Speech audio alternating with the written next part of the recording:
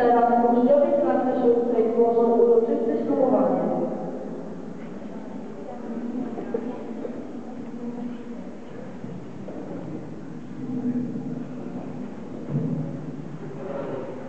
Do ślubowania.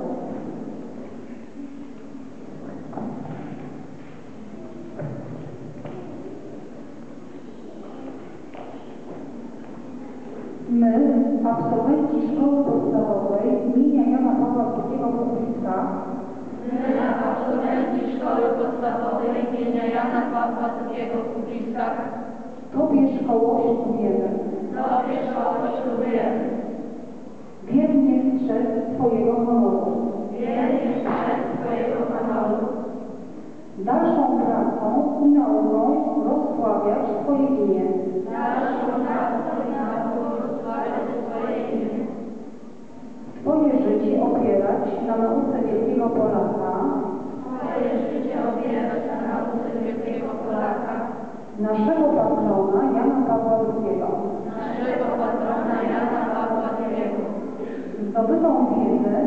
umiejętności i sprawności, Zdobytą wiedzę, umiejętności i sprawności jak najlepiej wykorzystywać w dalszym swoim życiu.